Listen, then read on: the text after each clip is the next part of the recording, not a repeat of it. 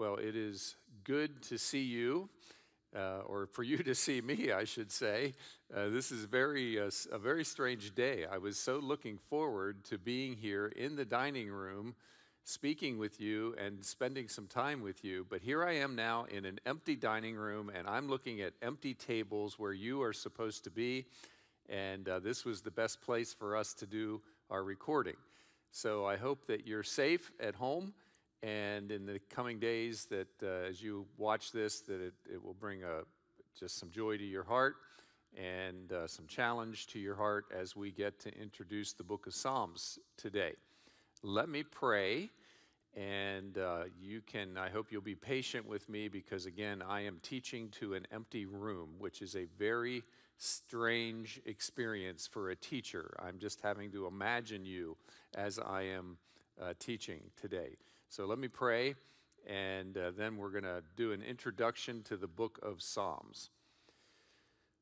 Father, thank you that we have this time together, and we worship you, especially today, because of the book of Psalms and all that it represents.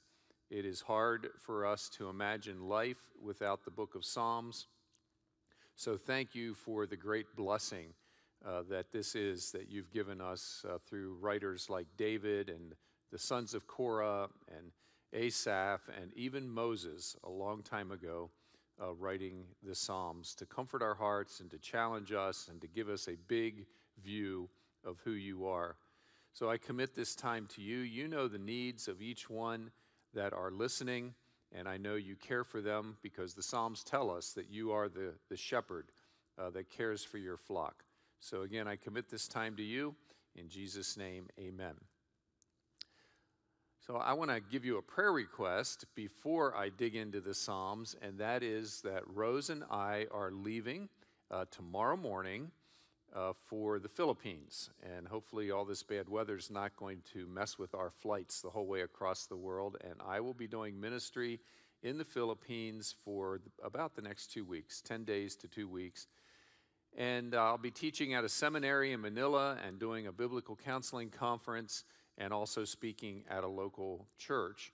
And uh, for our bodies at the age that they are, we don't like a 13 hour time change. So, uh, Rose and I would really appreciate your prayer uh, for strength and endurance. Uh, and uh, it'll be perfect timing for you getting this and watching the video because we will already be on our way uh, to the Philippines, arriving about 10 p.m. local time in the Philippines on Thursday, which I forget what time that will be this time. So please pray for us over the next 10 days. Something I'd like to ask you to do as we dig into the Psalms is uh, stretch your fingers because we are going to look at a bunch of Psalms right now over about the next 30 minutes. And so I need you to exercise your fingers, get your fingers all loosened up. And don't sit there and just watch this as if it's entertainment. Here's, if you have to press pause right now, please do it and go get your Bible and get a notepad and a pen because this is an orientation to the book of Psalms. So I'm going to give you a lot of information right now.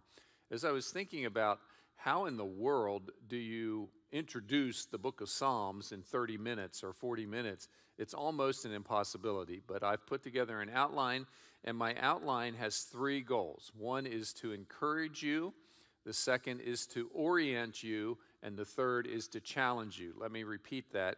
I want to encourage you in the next 30 minutes or so. I want to orient you to the book of Psalms, and I would like to close then with challenging you. When I think of the book of Psalms, all kinds of words come to my mind, and I'm sure they come to your mind as well. And emotions come uh, to my mind describing what the book of Psalms is about. When I think of the book of Psalms, I think of the word majestic. Uh, when you read the book of Psalms, you are supposed to get a big, big, big view of who God is. And I'm thinking in particular of Psalm 145, which is one of my favorite Psalms. If we would have been in person, I was going to take a little bit of time and ask you what are your favorite Psalms and why. But listen to Psalm 145, it's a majestic view of God. I will extol you, my God and King, and bless your name forever and ever. Listen to this because it gives us a worldview verse. Every day I will bless you and praise your name forever and ever. In other words, worship is not just for Sunday, worship is every day. So when you read Psalms, you're supposed to get a majestic view of God. You're supposed to think of the God who's the creator. You look at the stars and you're humbled, like David in Psalm 8. He goes on to say in Psalm 145, and this is a Davidic psalm as well Great is the Lord and greatly to be praised, and his greatness is unsearchable. When I think of words that describe the Psalms, I think of majestic. Uh, I also think of the word humbling, and I already talked about Psalm 8, where David is looking at the heavens and he says, Oh Lord, how majestic is your name in all the earth. And when I consider the stars and the sum of them, what is man that you are mindful of him? So, David, as an inspired writer, who, as you know, his background was a shepherd, I can picture him laying out uh, under the stars, looking up at the stars at night, and just contemplating God and how big he is, and he's worshiping God, and he's very humbled. I've had that experience myself, and maybe you have as well as you've looked up at the stars. I also think of another word describing the Psalms, and that is comforting. Why do we love the Psalms? Well, the Psalms are so realistic and they comfort us in the midst of our distress. And of course, the psalm that comes to mind is Psalm 23. I'm sure it's a favorite of many of you. Uh, the Lord is my shepherd, I shall not want. He leads me beside the still waters. Uh, just that beautiful psalm about uh, who the Lord is, and it brings such comfort to our hearts. And there's so many other themes in the book of Psalms that bring us comfort, uh, including who God is, the future hope of our Messiah, uh, etc. I think of emotions when I think of other words that describe the Psalms. Emotions. Look at Psalm 28. So if you haven't gotten your Bible yet, please press pause, go get your Bible. And I need you to do your finger exercises and get all loosened up because we're going to keep looking at different Psalms. Listen to Psalm 28. This is such an emotional psalm. Many Psalms I could have picked that are emotional, but this is the one that came to mind because the Lord used Psalm 28 in my life uh, many years ago to comfort me and to challenge me, but it's such an emotional psalm. David says, Lord, if you don't listen to me, I'm going to die. To you, O Lord, I call my rock. Do not be deaf to me, lest if you be silent to me, I'm going to die. I will become like those who go down to the pit. Hear the voice of my pleas for mercy when I cry to you for help when I lift up my hands toward your most holy sanctuary. Another word that comes to mind comes out of this psalm, and that is that the psalms are realistic. Uh, why do we love the psalms? Well, they just picture human life. Uh, this psalm, like many psalms, pictures betrayal by other humans. Have you ever had someone betray you? I'm sure you have. Uh, you have lived life long enough that you have had broken relationships, you've had people that have hurt you deeply. And uh, David has been betrayed, and it's being pictured in this psalm that he was betrayed. I did an interesting study one time of the book of Psalms, and especially the Davidic Psalms. And what I looked at was how many times uh, David in his Psalms talked about being betrayed by others or having problems with people. David wrote just about half the Psalms. Uh, most scholars say 72. There are some Psalms that uh, sound very much like a Davidic Psalm, but it doesn't have up at the top uh, a Psalm of David. So there are a few Psalms that we, we think are Davidic Psalms that aren't exactly attributed uh, to him. But there are 72 that are clearly Davidic Psalms. And I counted up how in how many of those Psalms David was having people problems. It was two thirds of the Davidic Psalms. Well, no wonder we relate well to the Psalms because that's our human experience. The Psalms are about reality. The Psalms picture rejoicing and happiness. The Psalms talk about children. The Psalms talk about death. The Psalms talk about rejoicing and worshiping. Uh, emotions like anxiety, guilt, shame, fear are all talked about in the Psalms. Uh, they are about real life, and maybe that's why we love them so much. Uh, there's enemies, there's death, there's vengeance, there's, there's struggles with sleep. Do any of you struggle with sleep? Uh, I know I do from time to time. Well, the Psalms talk about the psalmists talk uh, struggling with sleep, and if you're interested in that, look at Psalm 42 because Psalm 42 talks about the sons of Korah and the, the writer of that psalm struggling with sleep and how God ministers to that psalmist in the night. The Psalms, other words that uh, come to my mind when it comes to the Psalms. Uh, the Psalms are hope filled. Do you need hope in the days that we're living in? Many, many, many people need hope for the days that we're living in. Well, what, where's the hope in the Psalms? Well, in the Psalms, there is a future. It's not like in the Psalms we're picturing struggles here on life and then you die and then that's it. The Psalms picture there is a God. He is the majestic God of the universe. He's in control, He is sovereign, and there is a future. And we are admonished over and over in the Psalms to put our hope in Him. There is a future, there is a God. He is merciful. And the most important part of the Psalms that give hope, and I'm going to talk about this as a whole separate category, is there is a coming Messiah.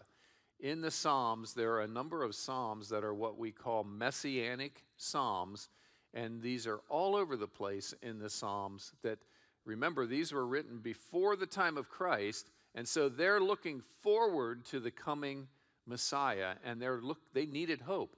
Uh, they were going through things like captivity, the Babylonian captivity, and they needed to cling to something. You need something to cling to right now as we think about our country, we think about the world. You need things to cling to. Well, guess what? The Messiah is coming again. Uh, the book of Psalms talks about the coming Messiah, so there is hope. Let me uh, orient you a little bit more to the book of Psalms.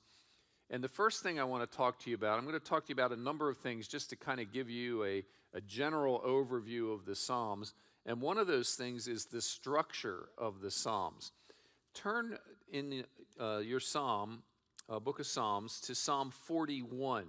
And I'd like you to notice something between Psalm 41 and 42.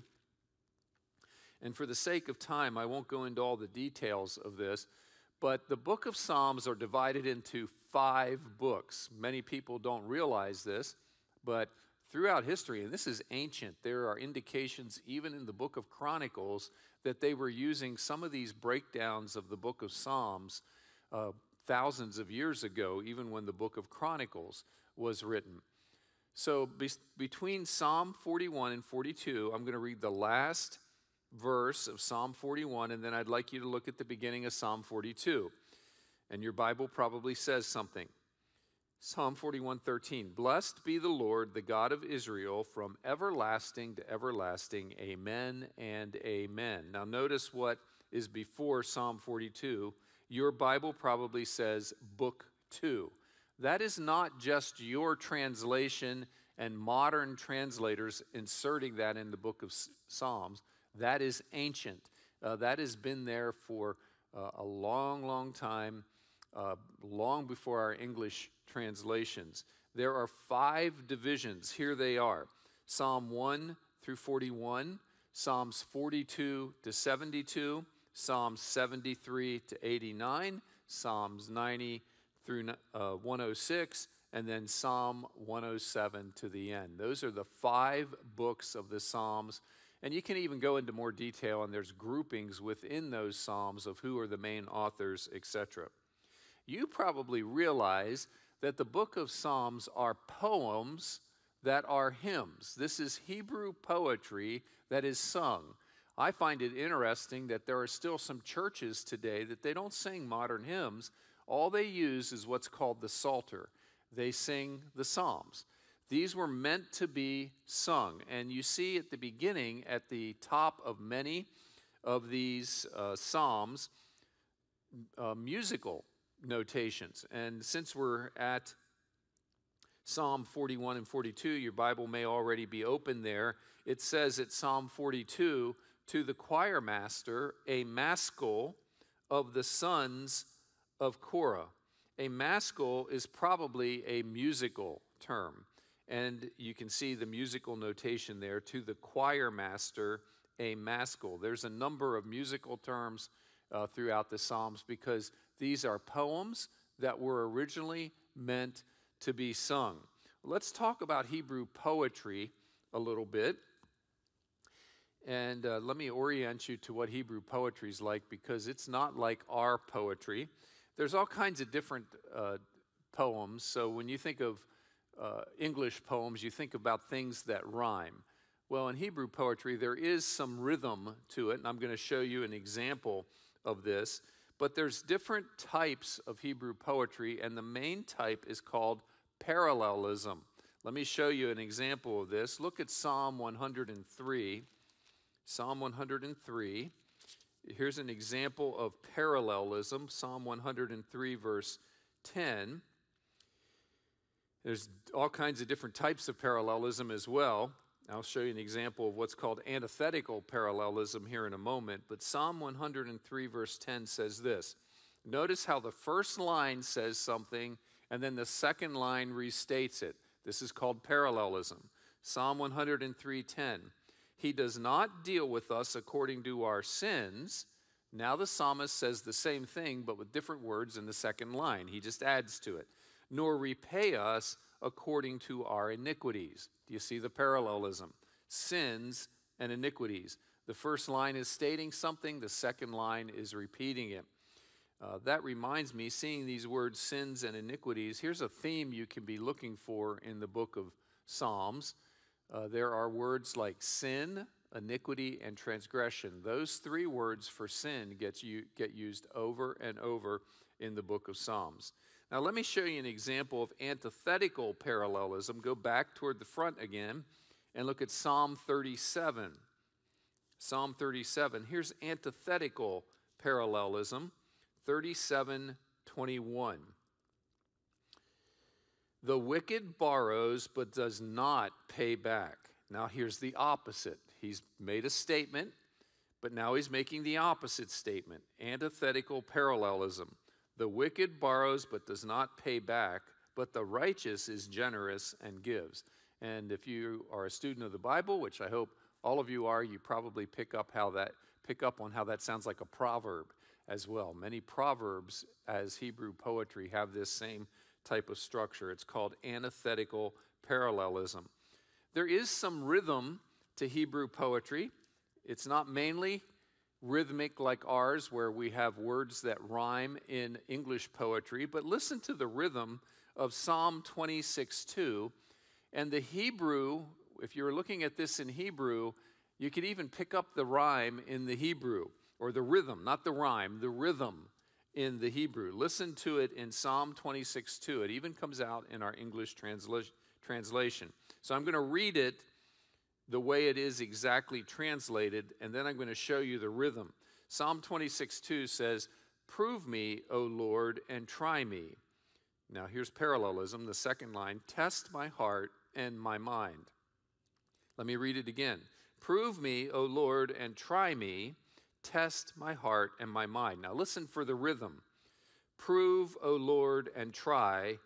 Test my heart and mind. Do you hear the rhythm with it?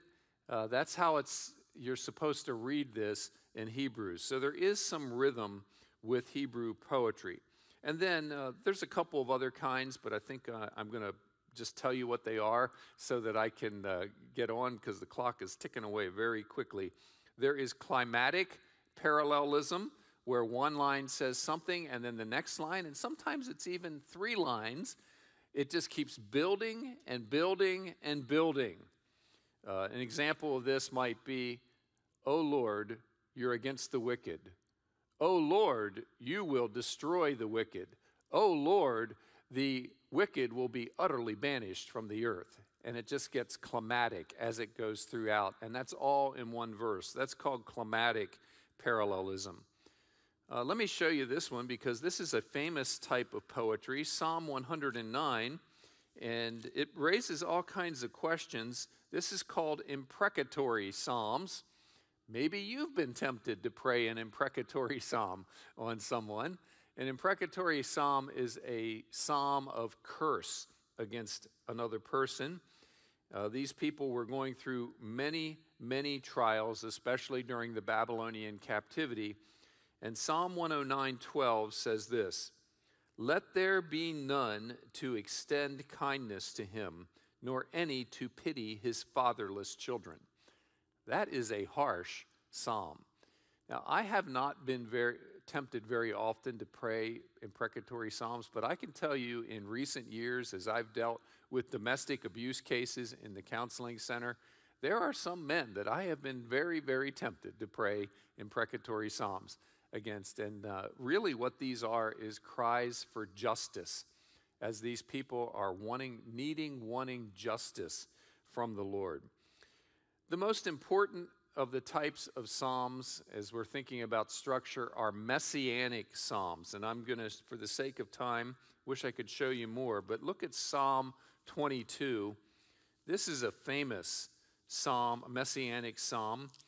The word messianic is related to our Lord. We call our Savior the Lord Jesus Christ, and Christ means Messiah. So, messianic psalms are psalms before he came that are predicting who he was and who he was going to be. Now, I know you can't see him, but I'm going to say hi to Chef Greg right now. And uh, aren't we missing the senior adults today? We just wish they were here today. He said he's missing you, and he has fried chicken ready for you. Amen, he says. Psalm 22, and let me tell you about Psalm 22. This is a very special psalm. It is quoted eight times in the New Testament four times in, in Matthew 27, three times in John 19, and then Hebrews chapter 2, verse 12. That's how many times Psalm 22 is quoted. Here's what you need to realize when you look at Psalm 22, and you recognize it as things that the Lord said on the cross as he's hanging on the cross.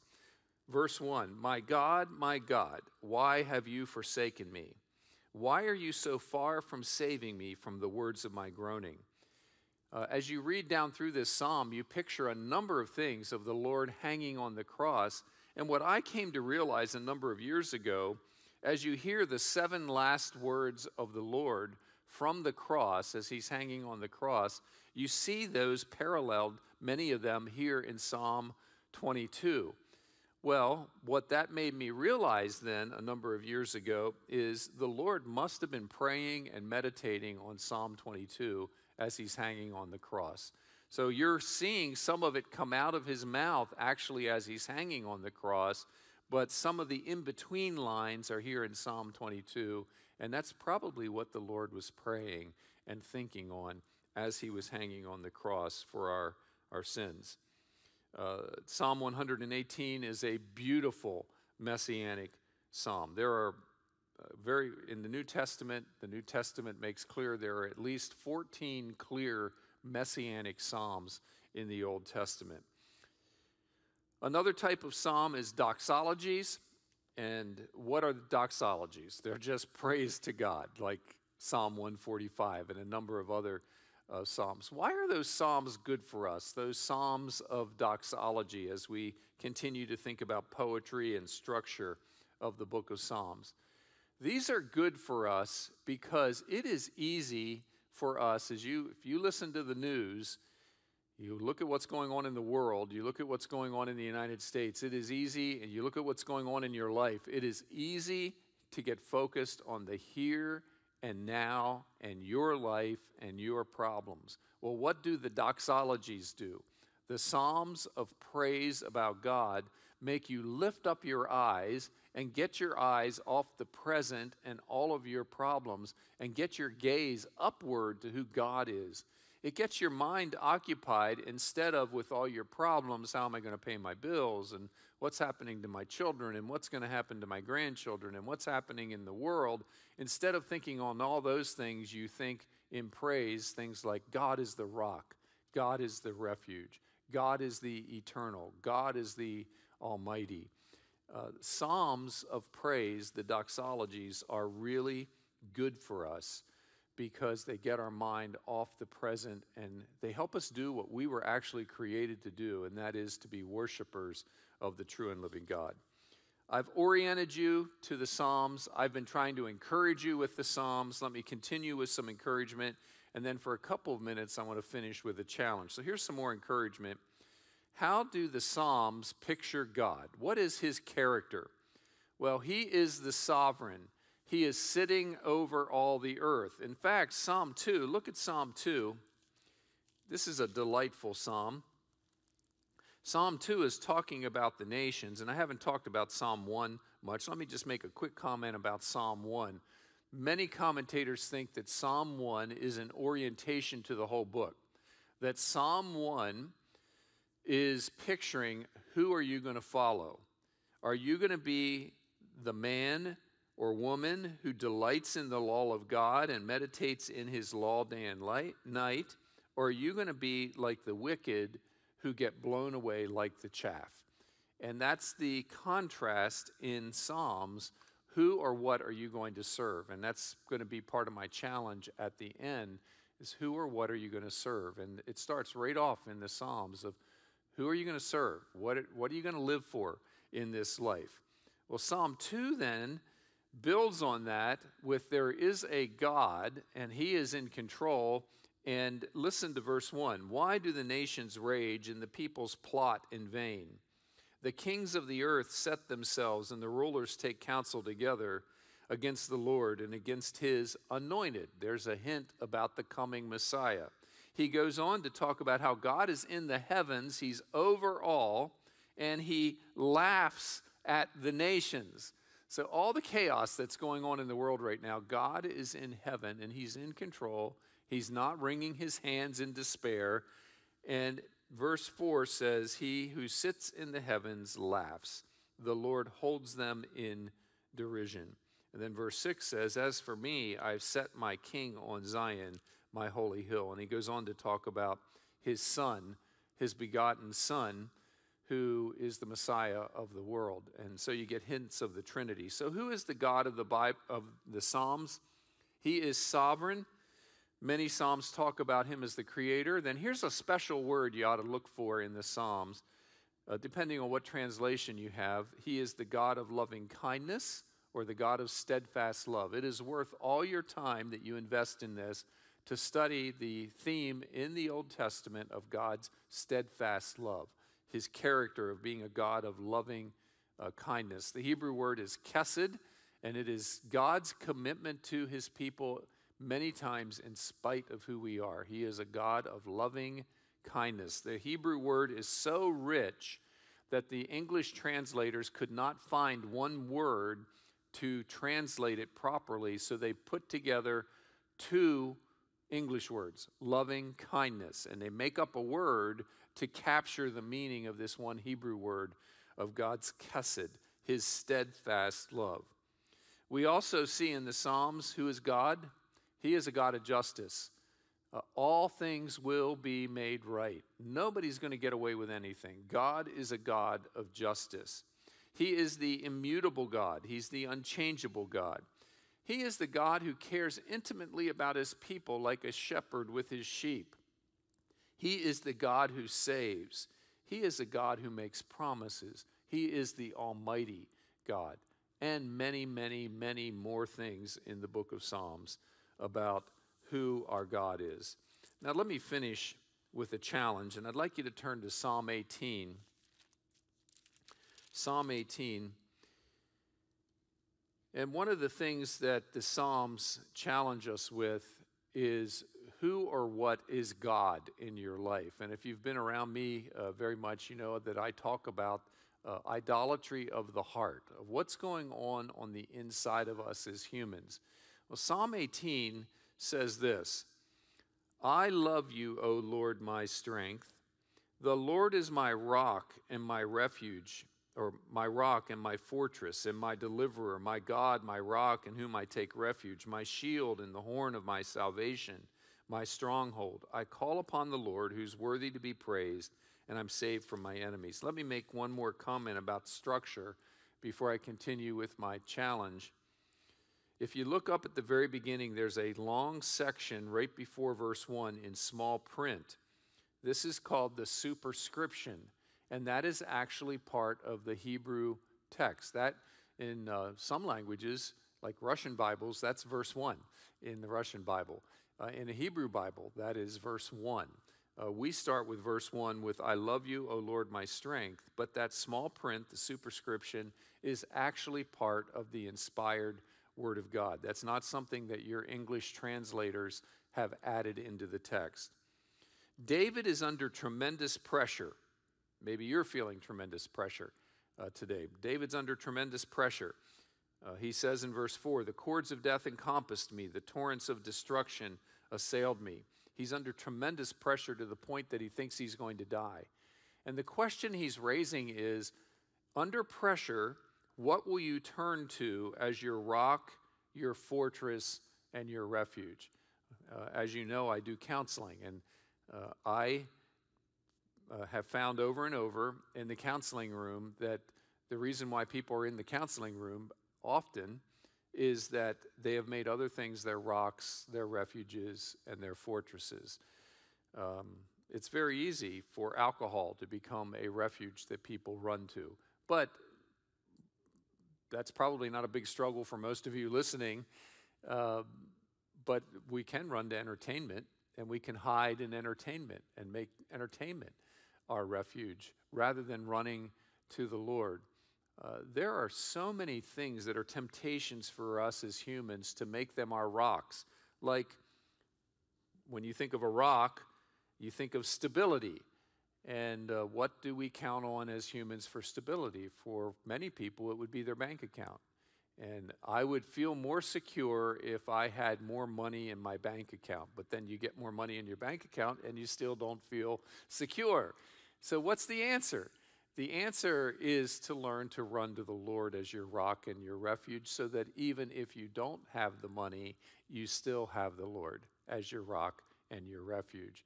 Nothing wrong with watching a movie and watching some entertainment, but if that's the main way you escape to deal with the pressures of life, what happens to your prayer life? Why not turn to the Lord as your rock and your refuge? There's a number of things in the Psalms that we get challenged with. Uh, Psalm 52 challenges us not to make money our refuge. Psalm 146 challenges us not to make another human being our refuge. And that psalm's really important because we're in a presidential election year, and I'm dreading it just like you are probably.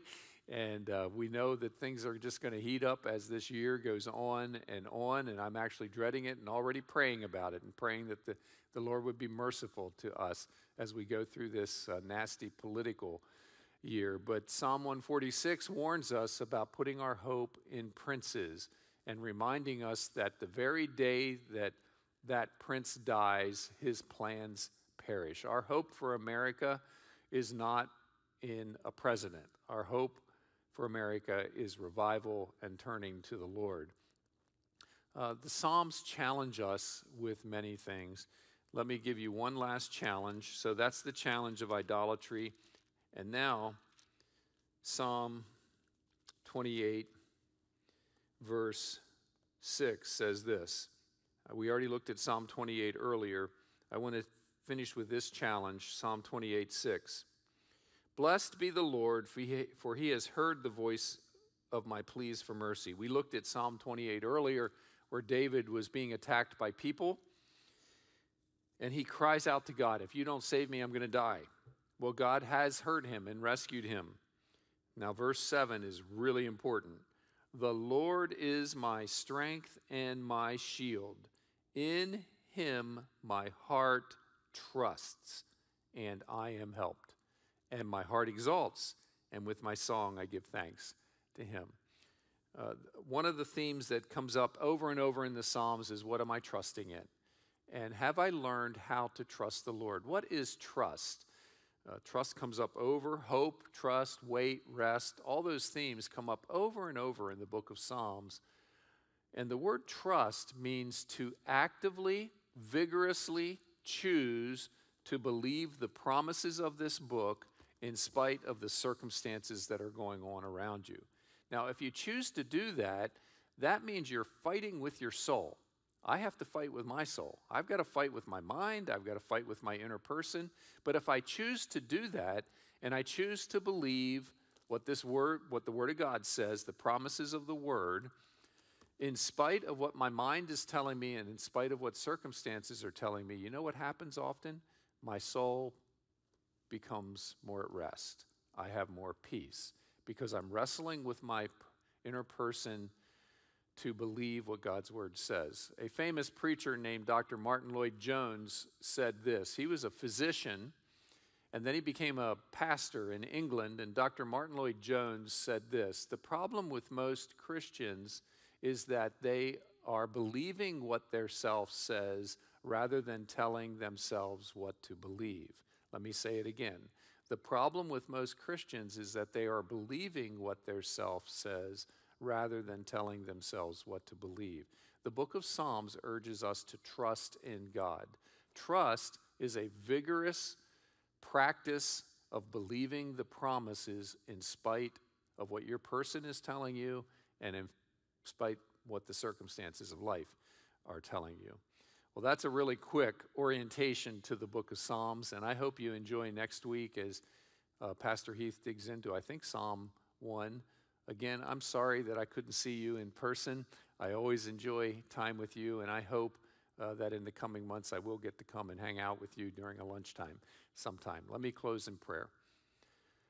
Lord, thank you uh, for this time to orient uh, our senior adults to the book of Psalms, and I thank you that over the coming months they're going to hear from a number of their pastors about the book of Psalms.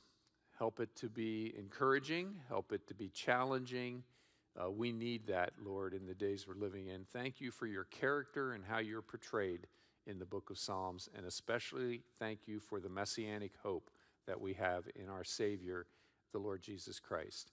And I pray this in Jesus' name. Amen.